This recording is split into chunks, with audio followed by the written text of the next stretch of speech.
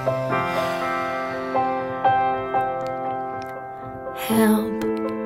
I have done it again. I have been here many times before, hurt myself again today. And worst part is there's no one else to